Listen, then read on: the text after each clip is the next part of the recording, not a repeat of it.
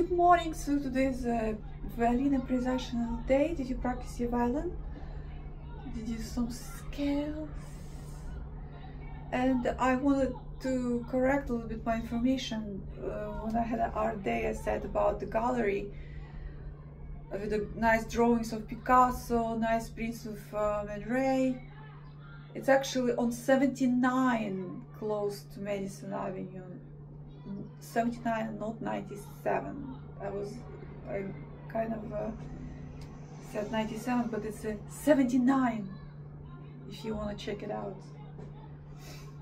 And I heard on the news today that you know uh, they recommend not to give phones to kids until they're uh, nine years old and then, then they don't recommend to have social media at 16 it's a pretty much uh, good decision because uh, it's a lot of distraction. And when you want to get inspired just uh, be focused on someone that gives you inspiration. Don't go all over the place uh, on social media and read precise uh, literature and, and uh, news that you are decide to grow and decide to have your specific specializing stuff that you wanted to grow in and what what you're interested in not everything.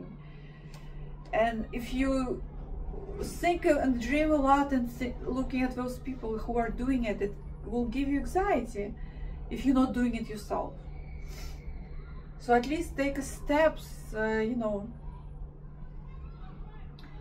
doing a step at a time, but doing it's gonna calm down your anxiety uh, a lot. So want, dream, and do, you know. Improvisation for today.